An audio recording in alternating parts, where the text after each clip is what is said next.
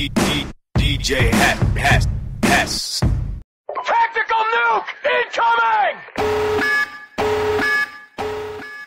What's going on, guys? DJ Hes here, and I'm bringing you part 7 of 30, 30 nukes in 30 days, a countdown to Modern Warfare 3. And you can see from the very beginning, there was uh, a couple messages I was looking at. I was actually playing with some subscribers, ran into them randomly in a lobby, and fortunately, uh, like Race's bosses, one of them on the other team, and uh, HD Quickscope on my team. So shout out to those guys if they check out this video. But uh, but they were on the opposite. One of them was on the opposite team, and so um, we were just uh, playing some high rise ground war domination, and which is always fun. And I'm using my M16, of course, because this is my favorite uh, gun, especially on this map.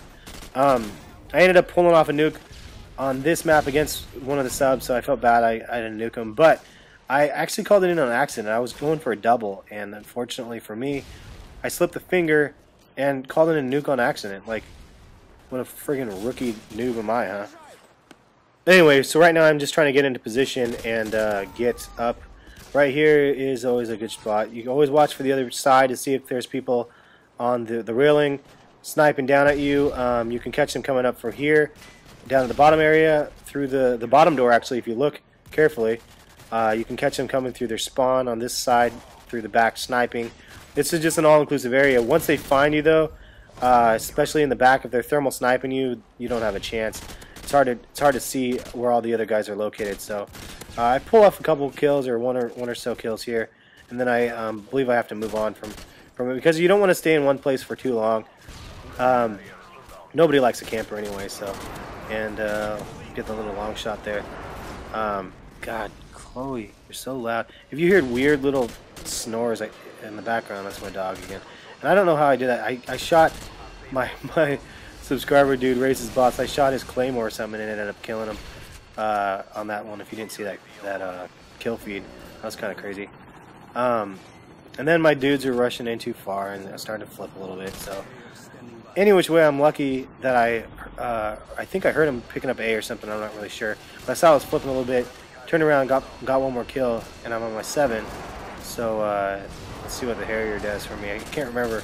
Uh, got this video a little bit ago, but you can see right down there. I'm shooting at the guy down at the bottom. Fortunately, I, I got two assists instead of getting any kills from that. Um, but uh, but this is a pretty good spot to be able to pick him off down there. I didn't realize that until this game that you can actually pick him off as they're running through through the bottom area. So uh, a little campy. I mean, I'm not rushing out too far and uh, trying to destroy my kill streak. At least I'm not waiting in a room. Um, I think I just about got that guy.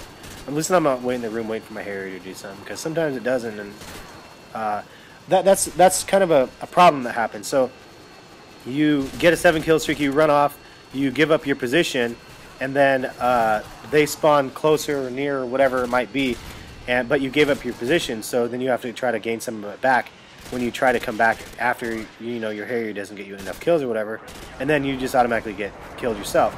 So sometimes it's best to hold your ground if you have good position. Sometimes it's best to hold your ground until that moment where uh, where it's it's not going to be able to happen and you're not going to be able to hold your ground.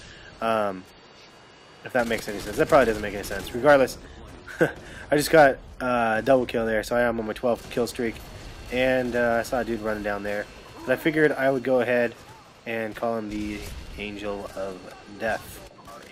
I, I like to call it that because I saw a Marcus J video recently of him getting a nuke and uh, shit sticks with you. It's fun. Um, but anyway, so AC-130 time. It can be good on this map. Some people say it's impossible to get a nuke with an AC-130 on this map. I, I, I haven't had any problems with it. I've been pretty fortunate. But uh, but it can be difficult because they can camp in those back rooms.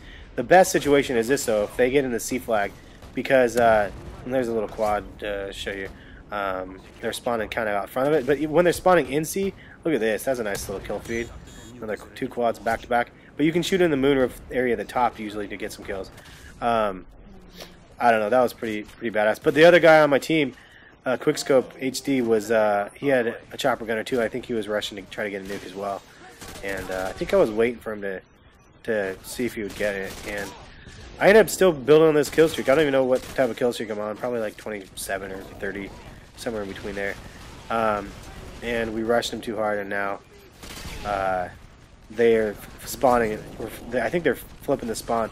But I ended up killing myself because I was like, fuck it. I might as well try to get a double.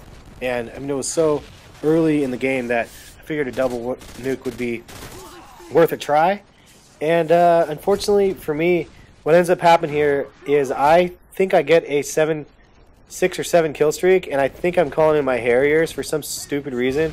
I thought I got a Harrier and I was calling it in, but instead I fucking didn't, and I ended up calling in my uh, my nuke on accident. So I, who knows? It could have been a double nuke. I've come I've come pretty close on this map to getting a double, but uh, stupid me, man.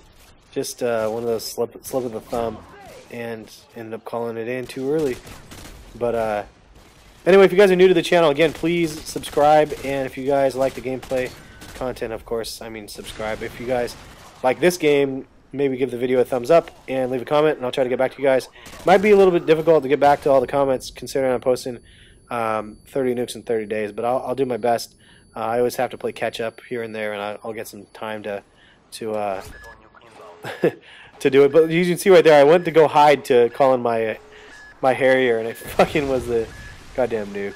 What a what a noob move. Anyway, uh, end of the gameplay is right here. And again, it was fun playing with my my subscribers. Shout out to those guys. Those those were some of the dudes. They were the first people that ever recognized me in a lobby, uh, which was which was pretty fun. So it was nice to be able to to roll with those dudes again.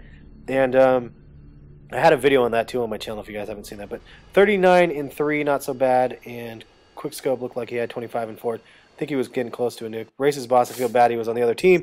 But uh, leave a comment, guys. We'll catch you guys tomorrow next video. Thanks.